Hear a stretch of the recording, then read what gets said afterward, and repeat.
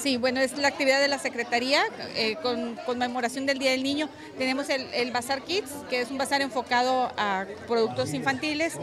Eh, tenemos también una brigada aquí de vacunación para COVID, también que, que, idealmente habíamos programado para niños, pero nuestra presidenta consiguió un poco más de vacuna y nos pidió que vacunáramos a, también a otros grupos de adultos, segundas dosis, este, primero y segundo refuerzos. Sí, ahorita hasta casi las 2 de la tarde van 800 vacunas aplicadas aproximadamente. Pues celebrar a los niños, es su último fin de semana de vacaciones de Pascua, entonces va a haber un, un show infantil, eh, muchos jueguitos, van a venir algunas personas con unas botargas para jugar con los niños.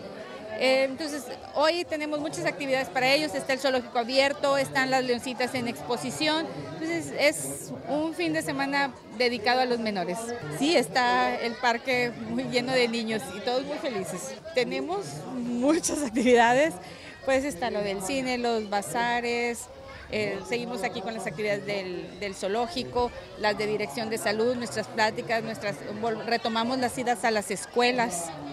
Entonces, tenemos un sinfín de actividades este, en nuestra página de, de Secretaría de Bienestar, ahí van a estar, y también en la de Dirección de Salud.